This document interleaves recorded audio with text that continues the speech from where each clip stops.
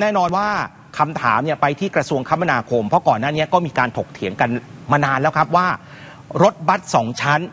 ยังควรจะใช้งานหรือไม่ และครั้งนี้พอเกิดอุบัติเหตุก็เป็นรถบัสสองชั้น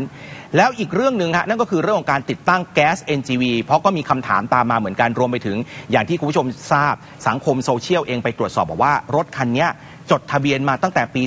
2513 ก็คือ ถ้าเราเอาตามการจดทะเบียนนั่นหมายความว่ารถคันนี้เนี่ยใช้มานานถึง 54 ปีแล้วเนี่ยนะฮะเรื่องนี้ทางด้านของคุณสุริยะจึงรุ่งเรืองกิจครับรองนายกรัฐมนตรีและรัฐมนตรีว่าการกระทรวงคมนาคม ก็เปิดเผยนะครับว่าจากเหตุการณ์ที่เกิดขึ้นเนี่ยนะครับรถคันที่เกิดเหตุเนี่ยนะฮะใช้แก๊สเป็นเชื้อเพลิง ซึ่งหลังจากนี้กระทรวงคมนาคมก็จะต้องมีการพิจารณาแล้วก็ศึกษานะครับว่าถ้าหากเป็นอันตรายจะต้องมีการยกเลิกการใช้เชื้อเพลิงประเภทนี้หรือไม่สำหรับเรื่องของการใช้แก๊ส NGV เนี่ยนะครับ เนื่องจากว่าพอเกิดอุบัติเหตุแบบนี้แล้วเนี่ยนะครับ มันก็เสี่ยงที่จะเกิดอันตรายได้นะครับ